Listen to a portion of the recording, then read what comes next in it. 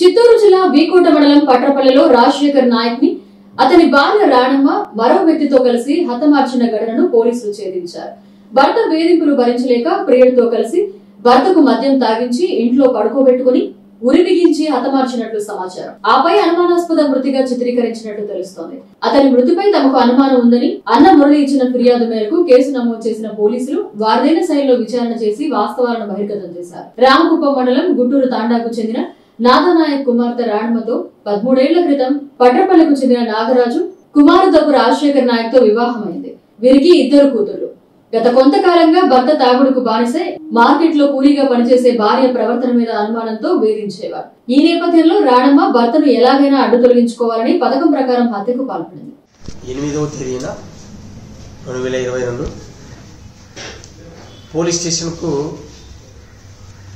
రాజశేఖర్ నాయకు తన ఇంటిలో అనానాస్పదంగా చనిపోయి ఉన్నాడు అని వాళ్ళ అన్న మురళీ నాయక్ వచ్చి ఫిర్యాదు చేస్తే వీకోట అర్బన్ పోలీస్ స్టేషన్లో కేసు రిజిస్టర్ అయింది. అతను వచ్చేసి పట్నపల్లి విలేజ్ వీకోట మండలము. సో కేసు నమోదు చేసుకున్న తర్వాత అది సస్పీషియస్ డెత్ కింద వన్ సౌట్ ఫోర్ సిఆర్పిసి సస్పీషియస్ డెత్ కింద కేసు నమోదు చేయడం జరిగింది. ఆ తర్వాత పిఎం అయిపోయింది. పిఎం అయిపోయిన తర్వాత డాక్టర్ గారు ఇచ్చిన ఒపీనియన్ మేరకు కేసును త్రీ నాట్ టూ కింద ఆర్డర్ చేయడం జరిగింది.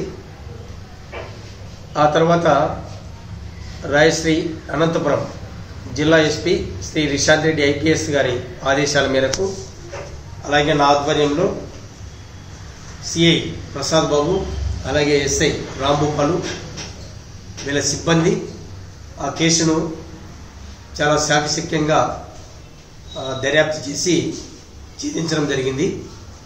ఇది యాక్చువల్గా రాజశేఖర్ భార్య రాణెమ్మ అని చెప్పేసి తన భర్త ఎక్కువగా తాగి ఆమెను హరాస్ చేస్తున్నాడనే ఉద్దేశంతో ఈమెకు ఈ మధ్యకాలంలోనే ఒక నవీన్ నాయక్ అనే వ్యక్తితో పరిచయం ఏర్పడుతుంది. నవీన్ నాయక్తో పరిచయం ఏర్పడిన తర్వాత ఆ వ్యక్తితో కలిసి ఇటు నా భర్త తాగి బాగా హరాస్ చేసుకున్నాడు సో నా భర్తను సంపాలి అనేటటువంటి ఒక ప్లాన్ ఆ నవీన్ నాయక్ ప్లస్ ఆమె ఇద్దరు కలిసి మాట్లాడుకుంటారు మాట్లాడుకున్న తర్వాత ఎనిమిదో తేదీ మార్నింగ్ ఎయిట్ ఓ క్లాక్ అట్లా ఈ రాణెమ్మ నవీన్ నాయక్ డబ్బులు ఇచ్చి నా భర్తను తాపించుకొని ఇంటికి తీసుకొని రమ్మని చెప్తుంది. సో అతను ముందుగానే అడిక్ట్ అయిపోయి ఉంటాడు కాబట్టి మందుకు సో రాజశేఖర్ నాయక్ నవీన్ నాయక్తో కలిసిపోయి మందు తాగి వచ్చేస్తారు. అంటే బార్డర్కి వెళ్ళిపోయి తాగి వచ్చి ఇంట్లో పండబెట్టిన తర్వాత ఇతను ఫోన్ చేసి రాణమ్మకు చెప్తాడు. సో రాణెమ్మ కొడుకు అప్పుడు ఇంటి దగ్గరికి వచ్చేసి ఇద్దరు కలిసి అక్కడ ఎవరు లేనిది చూసుకొని ఆ ఇంట్లో వాళ్ళ మదర్ ఉంటుంది. మదర్ కొడుకు అప్పుడు మార్కెట్కి వచ్చేసి పనికి వచ్చి ఉంటుంది.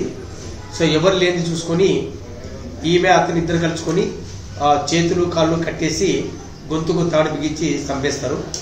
ఆ తర్వాత ఆ గొంతు కనుక వాపు కనపడుకోకుండా ఉండేకి పిల్లలకు పుండు కోసం వాడే మందును అక్కడ పూసేసి ఆ వాపు కనపడుకోకుండా ఉండేదానికి వాళ్ళు ప్రయత్నం చేశారు.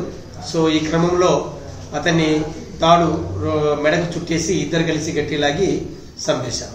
మరిన్ని అప్డేట్స్ కోసం మన హెచ్ఎన్ నైన్ టీవీ ఛానల్ని సబ్స్క్రైబ్ చేసుకోండి.